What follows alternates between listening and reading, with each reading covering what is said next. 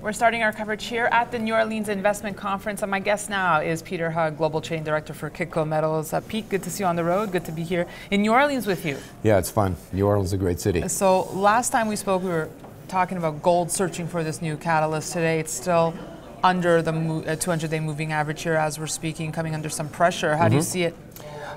I was a little optimistic this morning when gold opened at uh, 1273 yep. above the 200-day uh, moving average. Uh, there was some pressure on the equity markets right at the outset, and um, that pressure reversed itself, had the Dow going into positive territory, and some of the uh, capital reversed back from the metals back into the equity markets, and I think uh, you know took a bit of strength out of the market. Now we're back under the 200-day moving average at 1265 do level. You, do you almost feel that gold just needs the election and this supposed Fed rate hike in December just behind it? Well, there's a number. There's a number of potential catalysts that are coming up, and you know, I think the fact that gold is holding well at 1250. There's been you know some serious liquidations uh, from the ETF side over the past uh, month. Uh, so there's been a lot of supply coming onto the market. The physical demand in North America has also waned to some extent at these new levels. But the fact that it's holding up 1250 indicates to me that it's happy to be at this level, seems fairly priced and is waiting for the next catalyst, which could be uh, obviously the election, which is coming up in a couple of weeks. Uh, but then in December, you have the Italian referendum, uh, constitutional referendum, which could open the door for Italy mm-hmm. leaving the EU. Right.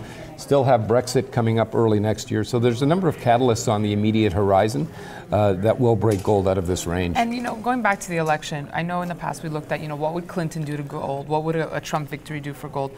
But there could be a third possibility here. If Trump does contest the, the election results, should he lose, what would that do to the metal? Well, again, you know, this election is, uh, is, is, something that has been so extraordinary uh, from my perspective. I, I, have never seen an election of this uh, uh volatility. I don't know what other word I can use. I'm trying to be politically correct.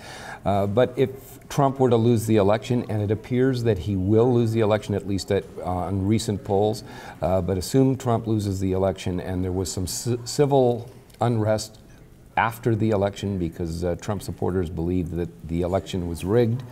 Uh, again, it would, could create some issues with the U.S. economy, could create some issues with the U.S. stock market.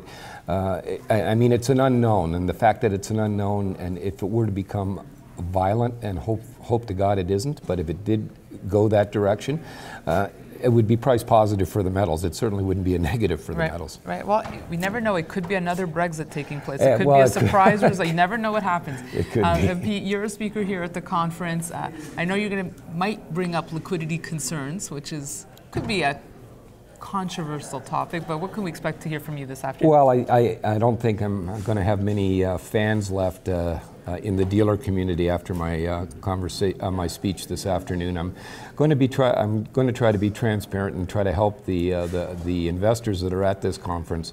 Uh, you know, understand how the physical market works from an acquisition pricing point of view, and I'm going to be disclosing what dealers pay for product and you know what the markups are and how dealers basically massage the market with different product lines uh, and you know give the investors a clearer understanding of uh, you know depending on what their motivation yep. is, what products best might suit their uh, their needs, and uh, yeah, it might be somewhat controversial with the dealer community. And speaking of new products, CME launched this week uh, some new products uh, innovative to the precious metals mm-hmm. community. Mm-hmm. What do you make of them? I think they're great.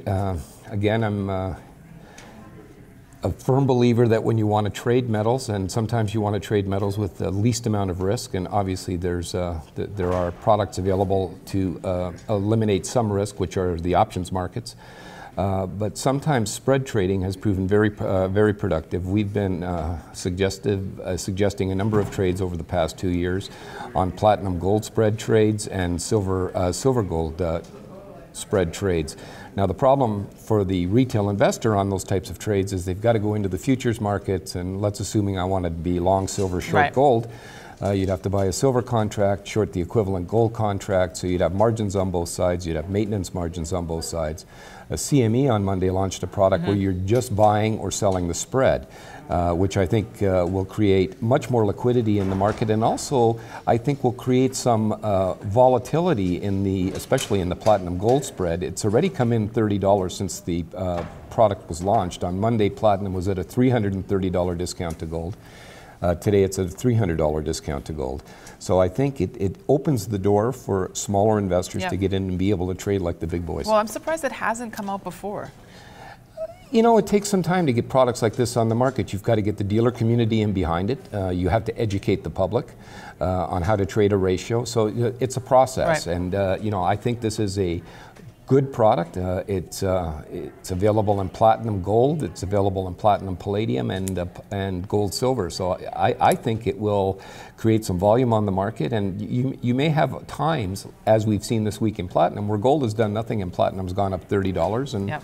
Silver's also sort of on a ratio basis gone up slightly uh, against gold relative Monday's value. Well, I'm sure CME will appreciate that endorsement coming from you, Pete. Pete is not paid by CME Group, by the way. Thanks so much for joining us. You're welcome. And thanks for watching our coverage. We'll have much more for you. We just started off our coverage, kicked off our coverage here from the New Orleans Investment Conference. So be sure to stay tuned to kitco.com. Thanks for watching, Pete. Thanks so much. Thank-